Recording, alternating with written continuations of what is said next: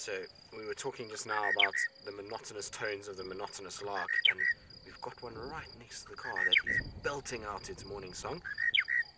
So that is the sound that we've been hearing non-stop the last few days. Oh, and a little bit of sunshine too, just to add to everything.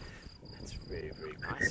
It's really making that colour on the lark out. Now, the colour, larks are not very colourful animals, but with this morning sun, it just gives you a little bit more of the kind of tones and shades that they have on their back area.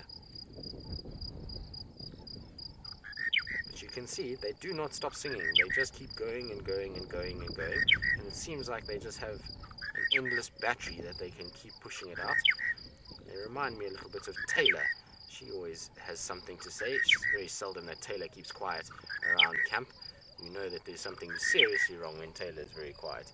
She's definitely one of the life-filled people of the camp, and much like Brent, they two in the same. Those ones, they both like to have a little chat.